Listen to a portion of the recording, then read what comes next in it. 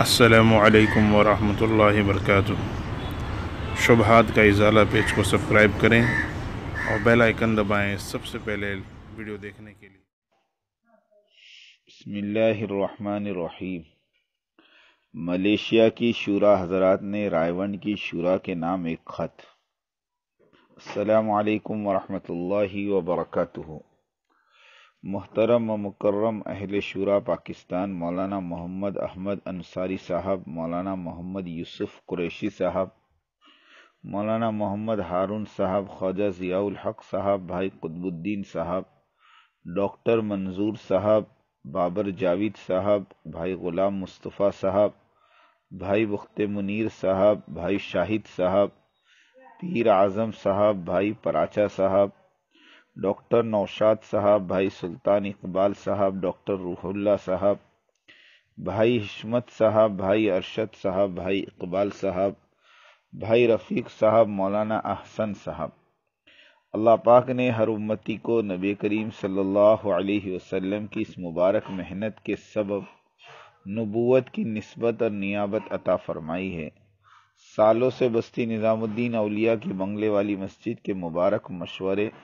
और हिदायत से कुर्बानियाँ दी जा रही हैं। और रायवन मरकज़ पाकिस्तान के अकाबरीन को यकीनन मकबूलियत, हिदायत और इज़्ज़त सिर्फ़ बंगले वाली मस्जिद निज़ामुद्दीन की मातहती में ही मिली है। बेशुमार ममालिक और लोगों ने हाजी अब्दुल वहाब साहब रहमत की हज़रत जी, मौलाना यूसुफ साहब रहमत से सीखी हुई फ़िक्रों और क़ुरबानियों पर बनाया गया माहौल से फ़ायदा हासिल किया है। आज भी हमारी कामयाबी इसी तरतीब पर चलने में ही है।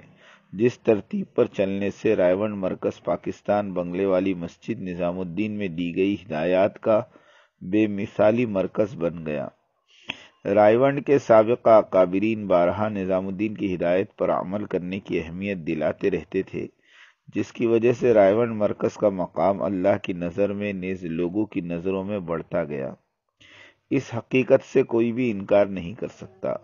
हम उम्मीदवार और दुआगो हैं कि कल पाकिस्तान का रायवन मरकज वापस उसी तरतीब की तरफ़ लौट आएगा जिसकी पाकिस्तान के सबका अकाबरीन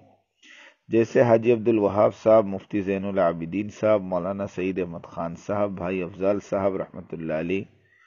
और पाकिस्तान के दीगर सैकड़ों अकाबरीन ने तबलीग की, यानी निज़ामुद्दीन की बंगले वाली मस्जिद से जुड़े रहने की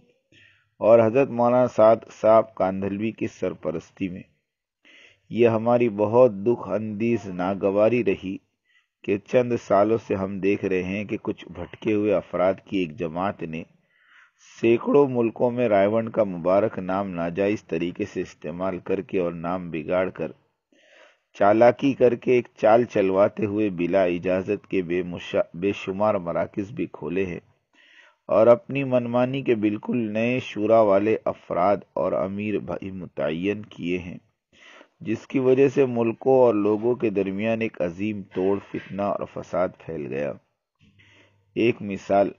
उन्नीस सौ तिरानवे में पूरी दुनिया के अकाबरीन हजरात ने, जिनमें हज़रत मौलाना सईद अहमद खान साहब, मुफ्ती जैनआबिदीन साहब, हाजी अब्दुल वहाब साहब, हज़रत मौलाना उमर पालनपुरी साहब, हज़रत मौलाना इजहारुल हसन साहब, मियाँ जी मेहराब साहब हाजी अब्दुल मुकीद साहब, हज़रत मौलाना ज़ुबैरुल हसन साहब, हज़रत जी मौलाना साद साहब, हज़रत जी मौलाना इनाम अल हसन साहब नवर मरकदहू की सरपरस्ती में, बमुकाम बंगले वाली मस्जिद निज़ामुद्दीन नई दहली में मुकम्मल इत्तेफाक के साथ मलेशिया का मरकज़ सिर्फ़ और सिर्फ़ मस्जिद श्री पेतालिंग कोलालमपुर को मुंतखब फरमाया था। आजकल रायवंड का मरकज़ का नाम लेकर और दावा करके चंद अफराद ने बिल्कुल बेशर्मी से मलेशिया में एक तोड़ भाग का नया मरकज कायम किया है। ए, हमारे मुआज़ पाकिस्तान के मरकज़ के हजरात,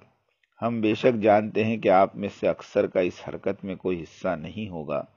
निज, आप में से अक्सर अपने ही कुछ अफराद की ऐसी हरकतों से खुल्लम खुल्ला खिलाफ भी होंगे। हमें आपस की इनफरादी तौर पर बातचीत से पता है कि आप में से अक्सर को इस नुकसानदेह ग्रुप से कितना दुख और तकलीफ़ पहुँचा है। आप शुरा के हजरात को इस नुकसान की इसलाह करने का वक्त अभी है। आप फौरी तौर पर रायवण से और बैरून से ऐसी जमातों को और अफराद को भेजना बंद कर दे,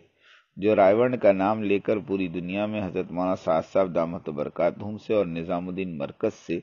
लोगों के दरमियान बदगुमानियाँ पैदा करके रोक रहे हैं और मलेशिया आकर उलझन और तफरीक पैदा कर रहे हैं। हम आपसे आजिजाना दरख्वास्त करते हैं कि इन साया और पर्दे पीछे मुतवाजी काम करके पूरी दुनिया में फसाद बर्पा करने वालों के बाबत में जो कमियाँ आ रही है, उन कमियों का एतराफ़ करे, ताकि आगे का काम आप जम कर कर सके। हम आप हजरात से इंतहाई इज़्ज़त करते हुए उम्मीद रखते हैं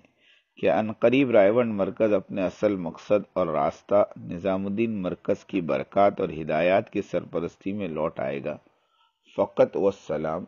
शूरा Malaysia Abdullah Cheong Muhyiddin Zain Abdullah उस्ताद अब्दुल हमीद उस्ताद अहमद सईद